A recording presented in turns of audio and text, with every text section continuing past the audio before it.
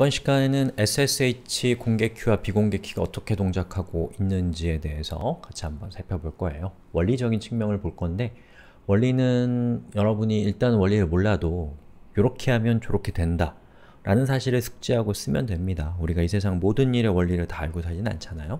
하지만 여러분이 궁금하거나 또는 더 많은 자유도가 필요하면 원리가 필요합니다. 원리가 있는 게 시간을 절약하는 거예요. 그래서 이번 시간 원리를 설명드리겠지만 이 원리 수업은 옵션입니다. 자, 제가 리눅스 1에서 리눅스 2로 접속할 때 어떤 일이 생기는지를 한번 봅시다. 자, 저는 일단은 그 현재 디렉토리를 한번 볼게요. 저희 홈 디렉토리 ssh 디렉토리에 있는 파일들을 보니까 id underbar rsa pub이 있고요. 그리고 리눅스 2를 살펴보니까 음, 보시는 것처럼 authorize kiss가 들어있습니다. 그럼 제가 어, 이전 시간에 여기 있는 id underbar rsa pub 파일을 authorize kiss 뒤에 붙여 넣거든요. 그렇게 되면 자동 로그인이 되죠. 해볼게요.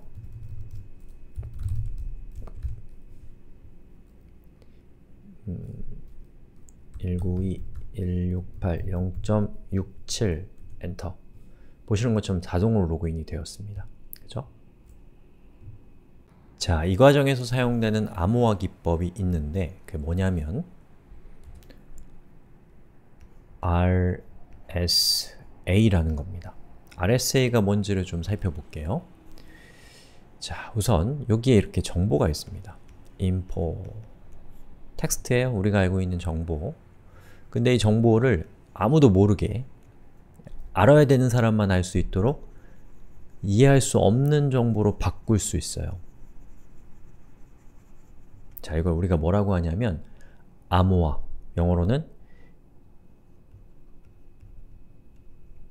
encrypt라고 부릅니다.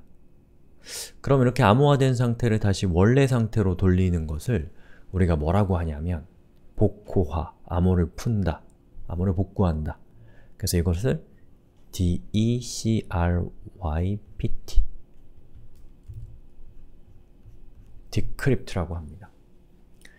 자, 근데 암호화 방식에 따라서는 encrypt, decrypt를 할 때 어떤 키를 쓸 수 있어요. 그래서 어떤 키가 이렇게 있어서 이 키를 이용해서 암호화를 하고 역시나 이 키를 이용해서 복화를 할 수 있습니다. 그러면 저 키를 가진 사람만이 암호를 읽을 수 있는 것이죠. 자, 이런 방식이 있고요. 이런 방식은 암호화를 할 때와 복화를 할 때 똑같은 키를 쓴다 라고 해서 대칭적인 방식이라고 부릅니다. 자, 그러면 비대칭적인 방식이 있냐? 있어요. 자, 우리가 지금 SSH 키젠을 통해서 만든 파일은 요것과 요겁니다. 요거는 private key, 이건 public key였죠. 즉, 자, private key와 public key가 이렇게 있으면 이 두 가지를 어떻게 활용하느냐면 예를 들면 어떤 정보를 복, 암호화할 때 private key를 통해서 암호화를 합니다. 그럼 암호화된 정보를 다시 원래 상태로 돌릴 때는 private key로 돌릴 수 있는 것이 아니라 public key를 써야지 돌릴 수 있어요. 자, 이런 식으로 암호화할 때와 복호할 때 각각의 키가 달라지는 방식을 우리가 비대칭적이다라고 얘기합니다. 그리고 어, 여러분이 그 SSH 키젠을 이용해서 여기 있는 요 키들을 만들 때 여기 있는 요 키와 private과 public 키는 둘이, 둘이 쌍인 거예요. 그래서 public 키가 있으면 걔는 private인 거고 private 키는 역시나 public 키인 거고 예, 그 둘은 같은 짝을 이루고 있는 겁니다. 하지만 어, 떤 정보를 암호화할 때는 private 키를 썼다면 그것을 복호할 때는 반드시 반드시 public 키로만 복호할 수 있다 라고 하는 특성을 가지고 있는 것이 바로 비대칭 암호화 기법이고 그 중에 대표 주자가 RSA라고 하는 겁니다. 그리고 이 RSA라고 하는 기술은 바로 이러한 특성을 잘 활용해서 여러 가지의 응용이 가능하고 그것을 응용한 덕분에 오늘날의 정보기술이 빠르게 성장하는데 정말 큰 역할을 한 중요한 기술입니다. 자, SSH를 통해서 우리가 인증을 하면 어떤 과정을 거치는지를 한번 설명을 드려볼게요. 저도 뭐 좀 틀리는 부분이 있을 수도 있어요. 제가 이쪽에 정통한 사람은 아니기 때문에 혹시 제가 잘못된 얘기를 하는 게 있으면 예, 바로 잡아 주시면 되죠. 댓글 같은 걸로. 자, SSH 클라이언트와 자, 접속하는 쪽엔 클라이언트 컴퓨터가 있어야겠죠. 클라이언트 프로그램이 있어야겠죠.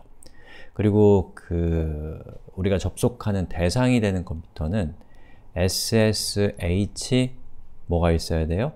서버가 설치되어 있습니다. 자 그럼 이 두 개의 프로그램이 서로 어떻게 동작하는지를 살펴볼 거고 각각의 컴퓨터에는 어떤 파일들이 있어요?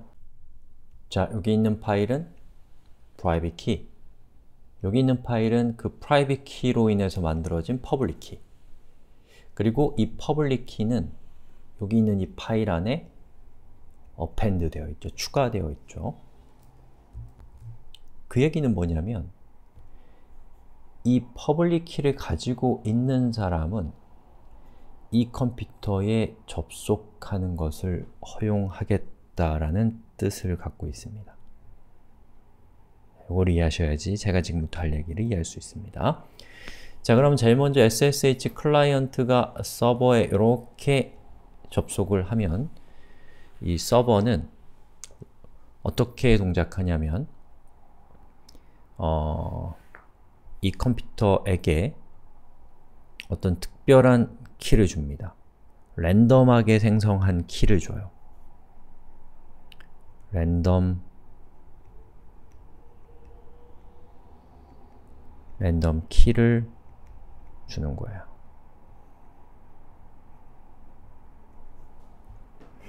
자 그러면 SSH 클라이언트 프로그램은 SSH라는 저 디렉토리 안에서 어, id underbar RSA라는 파일이 있는지 없는지를 찾아봅니다. 만약에 그런 이름의 파일이 있으면 저 파일을 이용해서, 저 private 키를 이용해서 SSH 서버가 전송한 랜덤 키를 어떻게 할까요? 암호화를 시켜요. 암호화를. 그리고 그 암호화된 결과를 SSH 서버에게 다시 전송합니다. 그럼 SSH 서버는 자기가 보냈던 랜덤한 키를 이 private 키로 암호화된 정보를 받았죠? 그러면 그 정보를 자기가 갖고 있는 이 authorize kiss에 저장되어 있는 그 공개 키를 이용해서 자기가 받은 파일을 복화를 하는 겁니다. 원래 상태로 돌리는 거예요. 그 결과, 복화된 결과가 자기가 처음에 SSH 서버가 전송했던 랜덤 키와 SSH 클라이언트가 보내준 암호화된 키를 복화된 그 결과가 서로 같다면 이 SSH 클라이언트는 이 authorize kiss에 저장되어 있는 public key를 만든 사람이라는 것을 확신할 수가 있는 것이죠. 그러면 로그인을 해주는 겁니다. 그러면 이 과정이 끝나는 거예요. 자, 그 과정에서 내부적으로 자동으로 처리가 되긴 하지만 결국에는 암호화, 복호화라고 하는 과정이 복잡하게 얽혀서 인증을 하는 것이고 그리고 여기 들어있는 id underbar rsa라고 하는 저 값은 보통 로그인할 때 쓰는 비밀번호 뭐 10자리, 12자리 이 정도밖에 안 되잖아요. 근데 여기 있는 이 파일을 열어보시면 굉장히 복잡한 텍스트로 되어 있습니다. 그 얘기는 뭐냐면 엄청나게 안전하다는 거죠. 예, 그래서 여러분이 직접 아이디 패스워드를 입력하는 것보다는 그 저기에 굉장히 복잡한 패스워드를 파일에 저장해서 그 파일을 가지고 로그인을 하는 것이 더 안전하다 라는 것은 뭐 상식적으로 이해할 수 있는 부분이죠. 예, 그 정도로 이해하시면 되겠습니다. 그리고 그 과정에서 이 암호화 복호화라고 하는 것을 또 대칭, 비대칭성이라고 하는 특성을 갖고 있는 RSA라고 하는 암호 방식이 이렇게 동작한다 라는 것을 알아두시면 좋겠습니다.